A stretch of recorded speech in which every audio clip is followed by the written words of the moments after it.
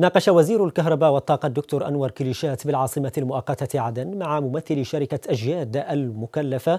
بتنفيذ المكلفة بتنفيذ مشروع محطة الغيضة بمحافظة المهرة بقدرة خمسة ميجاوات. استئناف العمل بالمشروع وتطرق الوزير كليشات بحضور الوكيل المساعد